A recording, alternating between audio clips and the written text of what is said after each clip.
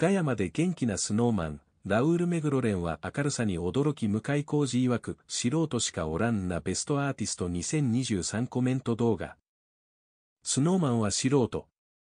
カメラ前よりも、後ろ、が賑やかなコメントリレー先日12月2日に放送された日本テレビ系音楽の祭典ベストアーティスト2023公式インスタグラムにて同番組に出演したスノーマンスノーマンのコメント動画、オフショットが公開された。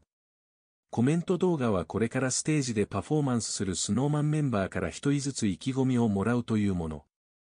トップバッターの渡辺翔太はスノーマンです。本番頑張りますとそそくさとフェードアウト。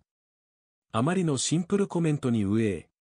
6つ、などと順番を控えるメンバーたちからはガヤの嵐賞。続く2番手の深沢達也もちょっと、と慌てながらも皆さんぜひ見てください。点々漏れてるかも、とカメラを見ながら髪型を直すような仕草を披露。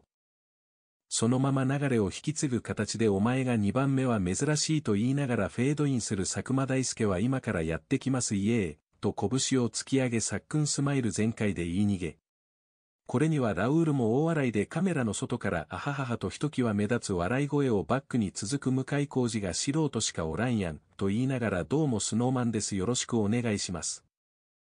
絶点点全力で頑張りたいと思います、と自身もシンプルコメントガッツポーズで決めるという出来に佐久間の手が伸び強制退場することに。